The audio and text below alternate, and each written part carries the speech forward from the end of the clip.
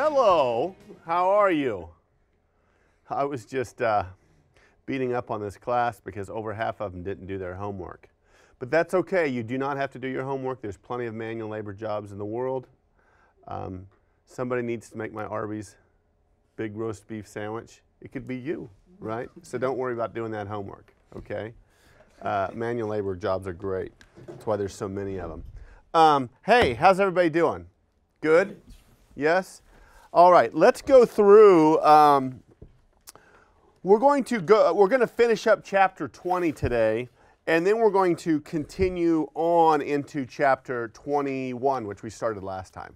Right? So let's go ahead and do that. I assigned problem 20 dash 4b. Is that correct? Okay, let me go ahead. I'm not going to work through this one slowly like I did uh, the other ones. Okay, so let me kind of show the answers. Uh, once you do a few of these, hopefully it gets a lot easier. So, okay, the first thing we do, make sure these numbers are checking out for those for those few of you who did it. Okay. Um, is that what you got for the first part? Okay. This is the beginning goods in process. These are the costs incurred this period. These are the costs that we have to account for, right? Then the next thing we do is we take a look at the unit cost information. All right? The unit cost information. And is that how? Okay. Okay. And then what do we do after that? We figure out the equivalent units of production. Is that correct? Mm-hmm. All right. Well, we take these numbers here. The 100,000 are 100% complete. So 100,000 times 100% is 100,000 for each product cost. The 12,000, it's 100%, 100% complete in regards to materials, but in regards to direct labor and overhead, which is applied on direct labor, it's only 25% done. Is that correct? So 25% times 12,000 is 3,000 equivalent units of production. Okay, cool? I think that's the end of the first page of your uh, template, is that right? Okay. Then we go to the top of the next page. Um, we take these beginning goods in process and incurred costs incurred this period for each product cost. We get that from up here, okay? And we get those, then we add those up to get our total costs. Then we divide that by the equivalent units of production that we computed up here. And we get cost per equivalent unit of production, right? Okay. Then we continue on. And we have our last cost assignment and reconciliation. All right. We take those equivalent units of production. Um, well, those, those, uh, yes, those, those, uh, what, do they, what do they exactly call them? The cost per EUP. Okay. Put those there. Take those equivalent units of production that we solved for earlier. We compute these numbers. We add those numbers up. And of course, the big question is does that number equal this number by my thumb from the first page? And it does, doesn't it? Okay? So, and which of those numbers goes down to the journal entry? Million one sixty. The cost transferred out. So the journal entry is thus. All right? Cool? Okay, any questions on that? Anybody? Alrighty then. Okay, let me talk about, you can come off that. Let me talk about how we're going to, I'm going to assess you over that. Okay? Um, I thought about a number of different ways of doing this, and what I was going to do was going, was going to give you a 15 point mini project on Connect, kind of like I did the cash flow statement in the chapter 17. Remember those? Um, but I'm just I'm not going to do that. And the reason is is because I, I went in uh, a couple days ago and tried to do one of these, and it was one of those where I know how to do it, but I, I for the life of me couldn't figure out what numbers they wanted me to put in what boxes. and it was just, it was one of those things where technology just isn't working very well. So here's what I'm going to have you all do, okay? First of all, let me talk to you face-to-facers, and um, if you guys are, if somebody's watching this that is a, in one of my other face-to-face classes, and um, I'm going to be doing this for you as well. Um, after class, I'm going to give you a problem to do, and it's going to be considered like a 15-point mini project. Okay, it's 15 points towards your grade. Okay, and I want you to bring those back on Monday. Well, that's for these guys. Okay, bring those back next period. Okay, if you need, uh, you can. So kind of kind of consider it a fifth, an open book take home 15 point project for you all. Does that make sense? Okay. Now I have several different versions of it, so make sure you write the company name on your template. If you are out of those process cost summary templates, I think you should have enough in your packet, but if by chance you don't, I have a few extras up here. Okay? That's for my face-to-face -face classes. My online students, you guys can tune out for a second. My online students, here's what I'm going to do. Um, I am going to email you a problem that I want you to do, okay? And I am going to email you, um, well, let me back up. I'm going to email you a problem I want you to do. It's also going to be worth 15 points towards your total grade. Now, how do you get that to me? How do you get that to me? Well, there's three ways you can get it to me. If you want, you can uh, fill out your process cost summary by hand. And if you have other classes at JCCC, you can just slide it under my door with your name on it. Okay? Um, the second way you can get that to me is if you fill out your process cost summary template for the answer to that problem. And if you want to scan it in, like as a PDF, and email it to me, you can do that, folks, at home, okay, my online students.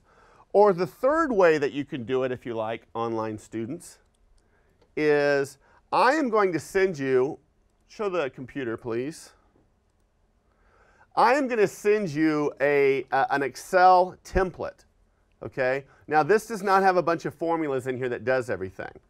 This is um, simply a way that you can fill out your answer, online students, and then send it to me. Just save the file and uh, you know, uh, attach the file to an email that you send to me.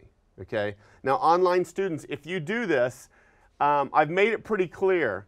Uh, every every cell that has a yellow, that is uh, in yellow, needs to have uh, a value in there. Okay, or something in there. Like here, I want you to put the the problem number and the company name. Here, I want to make sure you put your name. Okay. But online students, that's the third way that you could do this okay, is to uh, take this email that I send you, fill it in, save it as a file, attach it to an email that you send to me. Okay? So you can come off that. So, so online students, you need to do one of those three ways, okay? And look at your red calendar on D2L to see when this is exactly is due, okay? Now, listen careful, carefully to me, folks. Online students again. If you send me an email with your answer, either a scanned in written version or you filled out this Excel template, um, in your subject line, say Chapter 20 mini project or Chapter 20 process cost uh, summary, okay? And I will email you back when I get it. If I don't email you back, assume I didn't get it, okay? Because students always try to say that, oh, I emailed you. You didn't get it? You didn't get it? I sent you an email, okay? So once you send me that, online students, I will send you an email back that says I've received this. Okay? If I do not reply to you, assume I did not get it. Okay? Now, lastly, online students, if you use that Excel uh, temp template to fill in your answers, you can look back at that again on the computer. I think it would probably be easier if you actually did it by hand on uh, the templates that you have in your handouts and then just transfer your answers over to this once you're done. But somehow online students, you have to get that to me if you want your 15 points. Okay? All right, you can come off. Everybody else, you're just going to hand it to me next period. Cool? That's it for chapter 20. It will not be on the next test. Okay? All right? Okay. Now, the one last thing I want to say about chapter 20, though. I just said that's it for chapter 20, and then I said I had something else to tell you. This will be real quick. Okay, we talked about um, we talked about chapter 19, and that was job order, right? This was like a custom built house. It's completely unique, built to order, everything like that, right?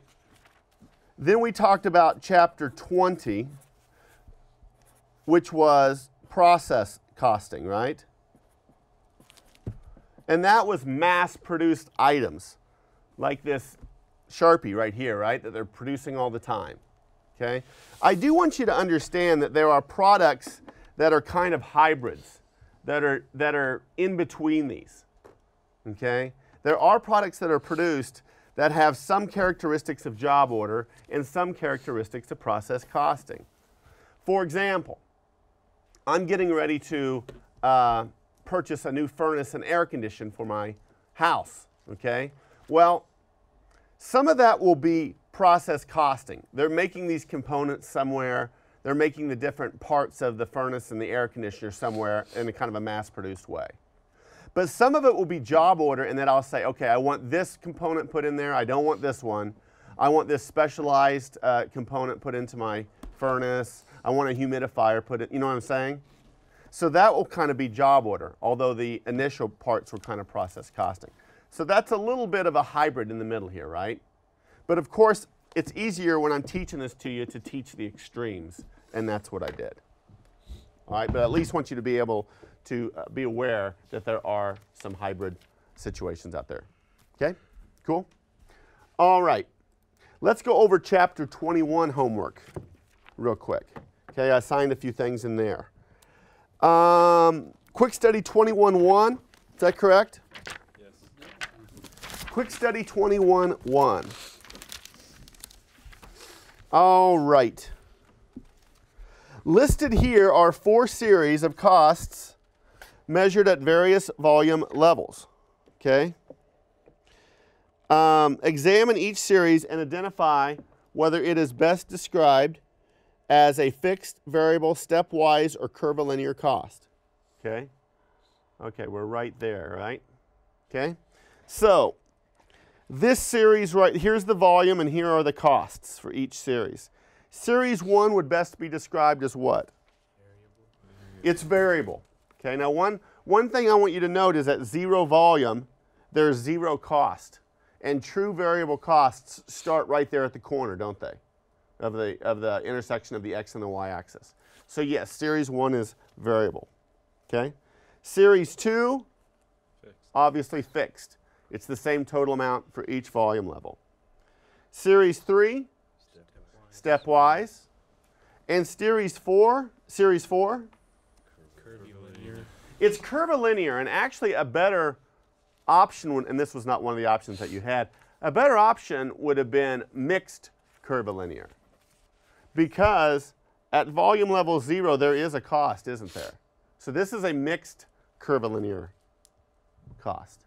You with me? Okay, you can come off that. Any questions on that, folks? Now let's go through the next one, Quick Study 21.2. Determine whether each of the following is best described as fixed, variable, or mixed with respect to product units. Okay, what about rubber used to manufacture athletic shoes? Variable. Variable, yes. The more shoes you produce, the more you'll spend in total, total rubber raw materials. Okay, there's some of these that kind of we need to talk about a little bit. What about maintenance of factory machinery? That'd be mixed. Or fixed. I heard fixed, I heard mixed. Anyone say variable? Okay. All right. I don't think it's fixed. Here's why I don't think it's fixed. Because the more you utilize that machinery, the more it will probably need to be maintained. I compare it with my automobile the more I drive my car, the more I will spend like on oil changes in a given period of time, correct? Okay, so I don't think it's fixed. I think there is some variable element to it. Okay? So it's either variable or mixed. We know that it's one of those because we know that there's a variable element to it. The question is, is there also a fixed element to it? Now, I know it's not solely fixed, but there could be a fixed element to it along with the variable. Okay? Now, you said mixed, Matt. Why? Uh, even if you don't use it, you're still gonna have to probably fix it. It's, it just sits there. It could rust or other damage could happen. And just with time, if you if you wait a certain period of time, you still have to fix it anyway. I would agree with that. I think that's good reasoning. I think of my automobile. You know, if you don't drive your automobile, you're supposed to still change your oil every now and then, aren't you? Okay. You still have to do maintenance on machines if they are idle, or bad things will happen. Okay. So, thus, there's a fixed element. Thus, there's a variable element. I think the best answer is probably mixed. You see why? Okay. Okay. Uh, number three is packaging expense. What'd you say? Variable. I would say variable too, because you'll spend more on packaging expense the more items that you produce and sell. Um, I would have a little question if there was a fixed element in there as well. I don't know what they completely mean by packaging expense. Does that include the total packaging expense? Like, is there a salaried person that work, works in the packaging department? If so, it would be mixed, but variable is probably the best answer there. Okay. The rest of these I don't think are, are too uh, ambiguous. Wages of an assembly line worker paid on the basis of acceptable units produced. Variable. Variable. Fact, factory supervisor salary. Fixed. Fixed. Taxes on the factory building. Fixed. It's fixed, right? Depreciation expense of warehouse. Fixed. Fixed. Okay? Now go back to that taxes on factory building. That'll probably be different each year, right? Mm-hmm. That's all right. It's still fixed. The, the, the, the, the argument is this those taxes do not increase because we produce more units. They are not variable based on the number of units produced. Does that make sense? Here's another misnomer sometimes students think they think fixed costs are 100% predictable. Well, I don't think you can probably predict your property taxes, can you? Because it's a pretty complicated, you know, calculation each year. The property taxes are still fixed. Okay. All right. Okay. Uh, we had one more, and that was exercise 21-2. Is that right? Okay. Let me let me show that on the screen, and we can go through that. Uh, below are five graphs representing various cost behaviors. Identify whether the cost behavior in each graph is mixed, stepwise, fixed, variable, or curvilinear. Okay? I'll have to cover this up because I wrote in my book. All right? Okay, graph number one. What is this graph? Variable. Variable. Fixed. Fixed. Mixed. That's mixed because it doesn't start there in the corner. It starts up that y-axis, so there's a fixed element to it. Curvilinear. Curvilinear, Stepwise. stepwise. Okay? Very good. Okay? All right. Questions on that? I know we have the second part to do. But any questions on that? Okay, you can come off that. Let's do the last part of this question that says uh, identify the graph by number that best illustrates each cost behavior. Okay, A, a factory policy that requires one supervisor for every 30 factory workers. Stepwise. That would be stepwise, which is the fifth one, right? Um, B, real estate taxes. Fixed. That would be fixed, which is graph number two.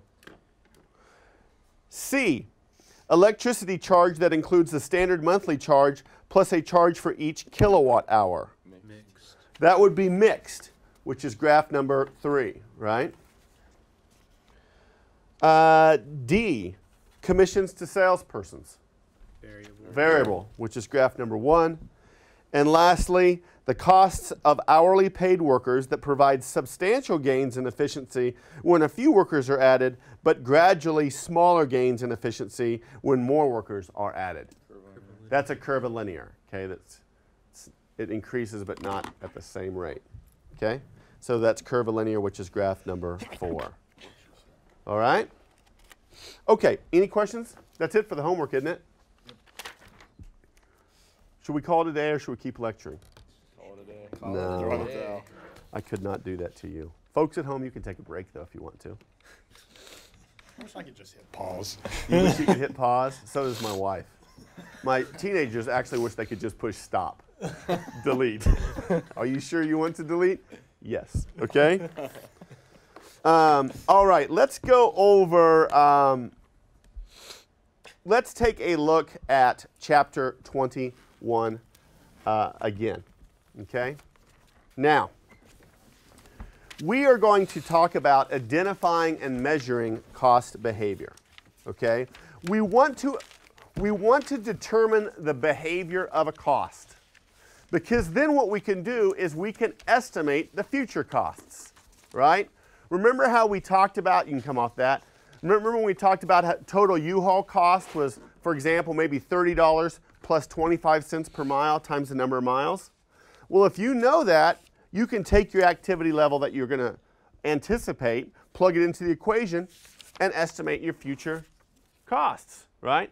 That's what we want to be able to do, okay? Now, in talking about the U-Haul, going back to the slides, we determined that that was a mixed cost, right? And I want to show you how um, the equation of that would look, okay? Now, what we said was the total U-Haul cost was $30 plus 25 cents per mile, okay?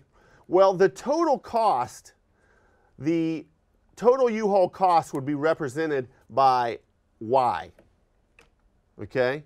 Would be represented by the variable Y. And the reason is because we keep track of total U-Haul costs on the Y-axis, right? We're going to use the variable A to represent the total fixed cost, okay? In our U-Haul example, it was $30, right? And this is where that line is going to intercept or hit that y-axis right there. Correct? Then we're going to use the variable b to deter or to represent the variable cost per unit. The variable cost per unit. So in our U-Haul example that I gave you, that would equal 25 cents per mile, right? And we've said that the higher the variable cost, the steeper the line, right? And then finally, we're going to use the variable x to represent the level of activity, okay? And we do that because the horizontal axis down here is the x-axis, correct? And the level of activity in our U-Haul example is the total number of miles driven. Are you with me? Okay, so we want to know that equation. Now, one thing that we can do is we can prepare what is called a scatter diagram to see if a relationship exists between the x and the y variable. Okay? All right, let me talk about let me talk about this real quick. Um, going over to the document camera. Okay? Let's say that we don't know, uh, let's say we've used U-Haul a number of times in the past, and let's say for some reason we don't know how total U-Haul costs are, uh, are computed. Okay? Now let's say that we think, we think that it is based on the number of miles, but we're not exactly sure. Well, what we could do is this. We could prepare a scatter diagram.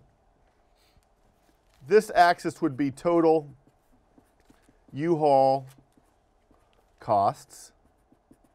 And let's say we think we're going to see if it's number of, numbers of miles. Okay?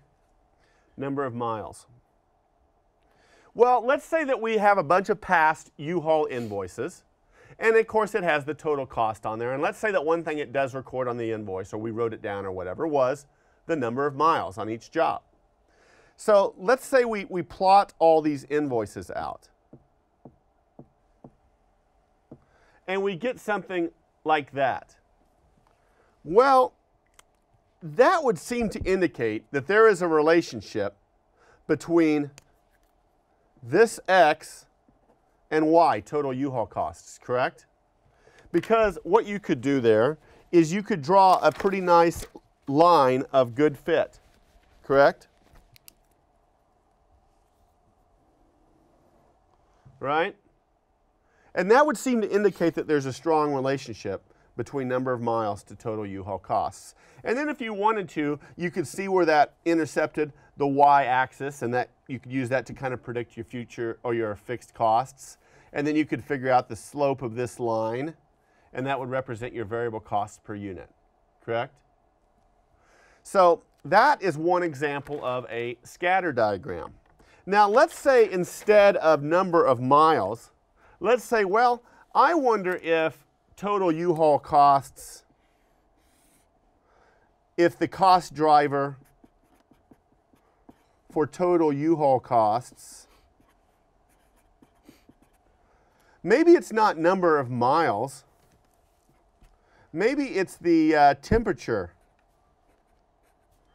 of how, how hot it is outside. Okay, now we know that total U-Haul costs have nothing to do with the temperature, right? But let's say you have a bunch of past U-Haul invoices and you know the temperature on each day, okay? Well, you plot out all those plot points from those invoices. And let's say you get something like that. Well, that does not seem to indicate that there's a line of good fit there, does it? So that seems to tell you that temperature has nothing to do with the total U-Haul costs.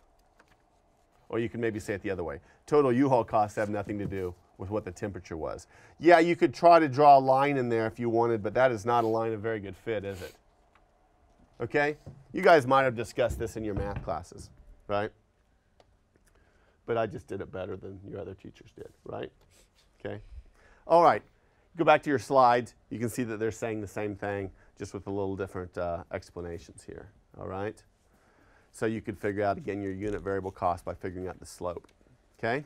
Now, once we determine, once we determine, folks, that there is a relationship between two variables, we still want to come up with the equation of that line, the y equals a plus b times x.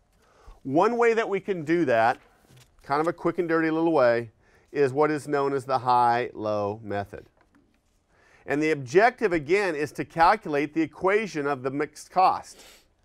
That y equals a plus b times x. Okay? Now, I've learned that the best way to teach high-low method is actually just to do an example. So we're going to do an example here. All right? Okay. Here's an, here is a series of, of uh, um, months and the units produced and the total cost for each. And let's say we feel that these, this is a situation that is a mixed cost. And we did that perhaps by plotting out a scatter diagram. Okay, the first thing that we want to do here is identify which of these columns is the x variable and which one of these is the y variable. Okay, well, which is the x variable? Units produced. Okay, and total cost is the y variable. Okay, now what we do, come off that if you would and show me, is once we've identified the x and the y, there we go, almost show, show it all if you can. Then what we want to do actually is we kind of want to cover up the y's. Don't even look at them. Just look at your x's, and I want you to, to, to determine which of these is the highest x and which of these is the lowest x. I'm not asking you that which is the highest y and lowest y. No, no, no. Cover up the y so you're not even tempted to look at them right now. Which of these of this, these is the highest x? Which of these is the lowest x? Okay? So going back to the computer, once you do that, which is the highest x? February. February. February. Okay, that's the high. Which of these is the lowest x? June. June. That is the low. You with me? Okay? So, what we're going to do then, once we've determined the high uh, high month and the low month, we're going to actually use all the data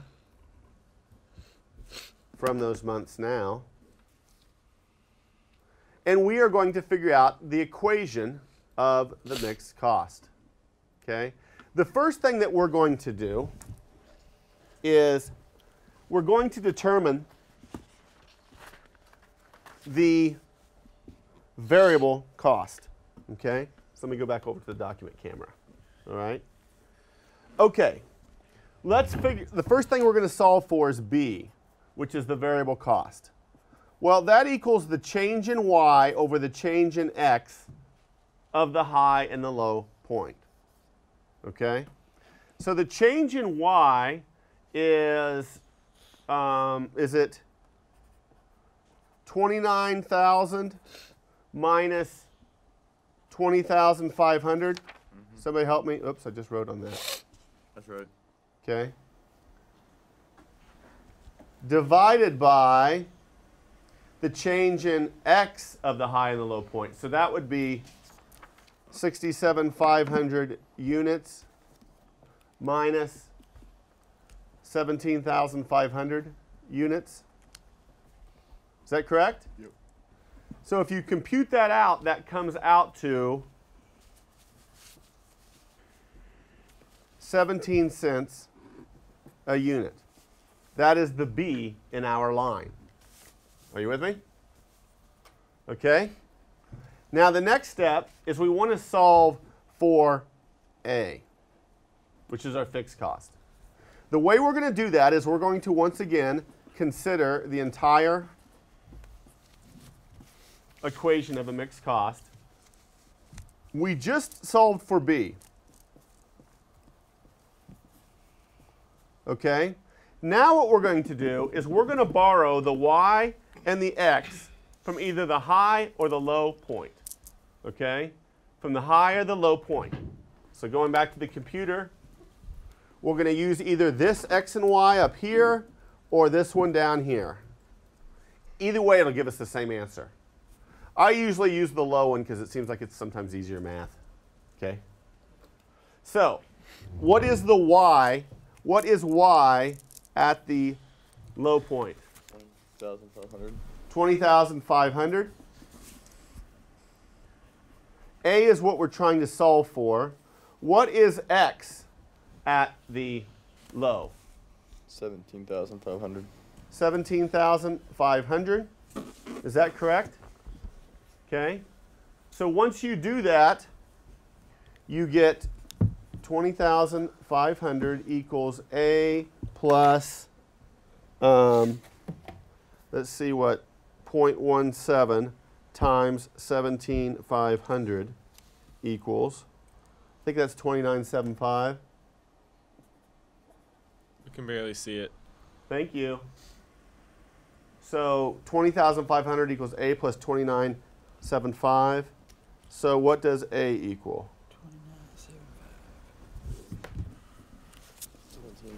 17525?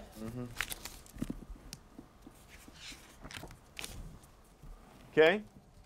So we now have our B and we now have our A. Okay? Now, let me show you how I don't like you to show this answer. Some students will write this out. They'll say y equals 17525 plus 17x. Well, yeah, sort of. But let's go ahead and define these variables times uh, for, for this specific situation. What does y in this situation equal? Well, looking back at the computer, y equals total costs, right? So let's say total costs equals $17525 plus, well, what does x equal in this example? Units produced, right? So let's say 17 cents per unit produced times the number of units produced. Now, doesn't that just give you a better warm fuzzy in your tummy that you really understand what this, what we really did was? Okay? Because now what can we do? Well, now what we can do is once we have that equation right there, let's say we expect an activity level of 20,000 units. Well, what would we expect to be our total costs? Well, we can plug it into that equation and we come up with an answer of 20,925. Are you with me? Okay? That's why we want that equation. So as managers, we plan and control our business, we can try to predict costs. Costs is a huge part of running a business. Are you with me? All right, questions on that? Now, least squares regression. You might have talked about this in a class. Least squares regression is usually covered in statistics class or other cost accounting class that are more advanced. And what you can do is uh, just plug in these different x's and y's historically and push a button and it will spit out a line of uh, an equation for you. Have you ever done that? Anybody? Okay. Now you can, yeah, you can, you can just plug in a variety of x and y's, you know, and say what is the equation of this mixed line, this mixed cost line, so to speak. Now, take a look at what I was showing you before. Remember how we had both of these situations? Okay. Well, you could plug in these data points and it would spit out an equation for you. You could also plug in this one and it would spit out an equation for you as well.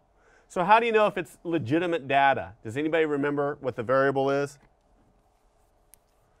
It will also give you what is called a number that an r squared. An r squared, and that tells you how uh, how good the line fits. Is it a line of good fit or is it line of not so good fit? Like this one would probably give you an R squared of maybe like 88%. The closer to 100%, the better fit. This would give you an R squared of maybe like 17%. Okay? But least squares regression is something that you might do in statistics classes or something else. Has anybody ever done it? Okay. Um, a lot of the calculators that you have anymore can actually do it. So, all right. Okay, take a look at the slide. I made a special slide for this. Um, it is time to switch gears to a new and a very, very, very important topic. Okay, you see how I put a gear shift knob because we're switching gears? Do you see what I did there? You see what I did? All right, thank you. Okay, come off this if you would for a second. This is very, very important. If you folks at home need to push pause, go push pause. But these last 10 minutes or so, very, very, very important what we're going to go through. Okay, so I want you to really engage your brain here. Okay? Now, looking at the slides. What we have been doing in the past with our income statement is we have been using the traditional approach where we organize our costs by function. Okay? Sales, less cost of goods sold equals gross margin less our operating expenses equals net income, okay? And these were our, our product costs up here. Whoops, our product costs up here. And these were our period costs down here. Remember that? Okay? This is what is actually required for external reporting, such as annual reports. That's the traditional approach. Now, the new approach that we are going to learn is the contribution approach. This organized costs by behavior. So what we do is we take sales minus all of our variable expenses, regardless of whether they're product or period. And we get what is called a contribution margin, a very important concept. Then we subtract out all of our fixed expenses, regardless of the product or period, and then we get our net income. This method is used primarily by management. We're going to find out it's so much more useful. Okay? Now, one of the first things whenever I, that I do whenever I look at an income statement is I look to the middle of the income statement. And if I see gross margin, if I see the term gross margin, then I know it's the traditional approach. If I see contribution margin, I know it is the contribution approach. But you, this is just so important that I can hardly stand it, okay? You need to have a good understanding of this. You're going to use it a lot in the rest of this class, as well as managerial accounting, as well as real life, okay? Let's take a closer look at an example of a contribution format income statement. All right. This is a contribution format income statement for ABC Retailer. We see sales less the variable costs equals contribution margin. Then we subtract our fixed costs and we get net income. Okay? Now, there were 2,000 units sold. The selling price per unit was $50. 50 times 2,000 is 100,000, right? The variable costs per unit were 30. 30 times 2,000 equals 60,000. The contribution margin per unit is 20. 20 times 2,000 equals 40,000. Okay? Now I want to tell you something real important. Come off there and show me with the screen if you could. Okay. Let's say I did not give you this data, but I gave you this data and this data. Could you compute your per units? Yes, 100,000 divided by 2,000 equals 50, 60,000 divided by 2,000 equals 30, 40,000 divided by 2,000 equals 20, or 50 minus 30 equals 20, 100,000 minus 60,000 equals 40,000. Because sometimes I will give this data and people say, hey, you, you forgot to tell us the per units. No, you can calculate the per units. Okay? Or another time, sometimes I will not tell you how many were sold, but I'll give you the totals and I'll give you the per units.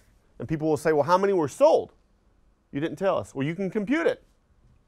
Take any of these numbers, divide by that number. 100,000 divided by 50 is 2,000 units. And there are other times I will not give you this data. I'll tell you how many were sold, and I'll tell you the per units, and I'll probably tell you the fixed cost too. But I want you to understand that if you have two of these, you can compute the third. Does this make sense? Okay.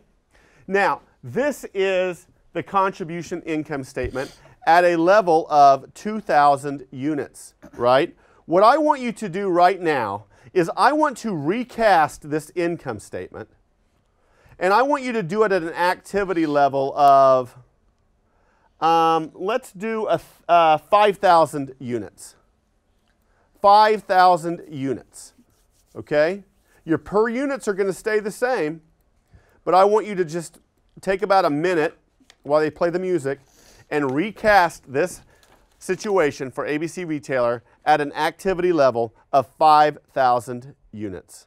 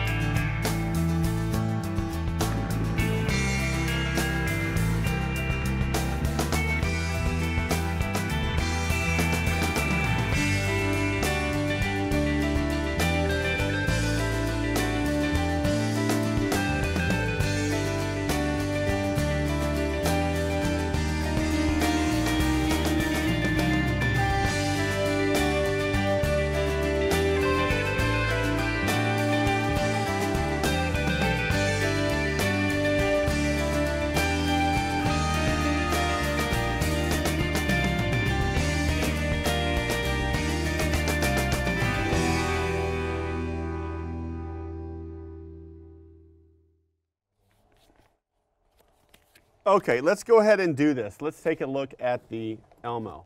Okay. Well, it's sales minus variable costs equals contribution margin minus your fixed costs equals net income, correct? And we're going to do this for a total of how many units? 5,000 units. Now let's put our per units here. Okay? Let's put our per units there. Our per units are 50, 30, and 20. You with me? Now don't do a per unit down here. I told you I don't like to do fixed costs on a per unit basis, right? So don't only do per units up here. Well, what's 50 times 5,000? 250,000. I just see the wrong column. 250,000. What's 30 times 5,000? 150,000. What's 20 times 5,000? 100,000. What's our fixed costs? 30,000. changed. What's our net income? 70,000. changing 70,000. units. that they- Are you with me? That should be easy. Now, what if I asked you to cast this not at 5,000 units, but 1,000 units? I thought These stayed the same. Folks at home, just push pause and recast it at 1,000 units. We've already done it here. Okay, well, sales would be 50 times 1,000, which is what? 50,000. Variable cost would be 30 times 1,000, which is 30,000. 20 times 1,000 is 20,000. Or 50 minus 30 equals 20,000. What are fixed costs?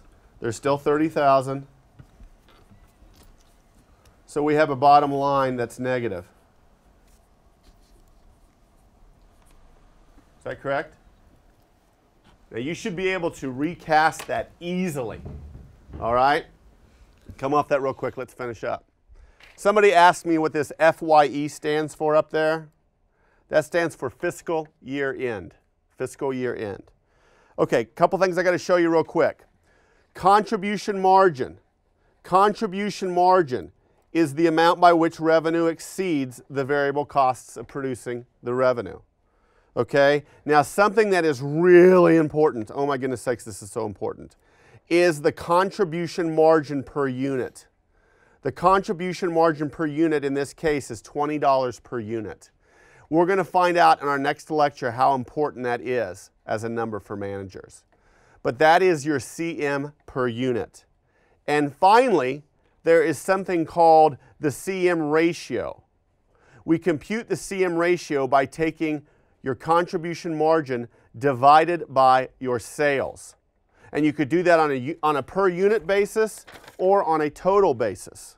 So if we do it on a per unit basis, it is 20 divided by 50 equals 40% or 0.40, whichever way you want to think about it. Or we could have also taken 40,000 total uh, contribution margin divided by 100,000 total sales, and we would have also got 40%. But that is what is known as our contribution margin ratio. Okay? All right, folks, I know that was a lot today, um, but this is just really, really important stuff. Here's what I want you to do for homework. Okay? I got a couple handouts and I got something from the book. Okay? I want you to do quick study 21.3 and I want you to do exercise 21.9. Okay? Now, the other thing that I want you to do, and I will hand this out to you folks here as soon as the cameras are done rolling, is I want you to do this contribution margin shaded box handout as well as the Lorenzo Company handout. So that is your homework, folks. Quick Study 21.3, Exercise 21.9, Shaded Box handout, Lorenzo Company handout, and also remember to do that 15 point take home mini project over chapter 20. Okay? Sorry we went long. Thanks, guys.